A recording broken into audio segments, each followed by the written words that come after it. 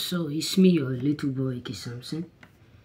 I have something special, unique for us today, choosing ones. You know, now they have realized that what God cannot do does not what exist.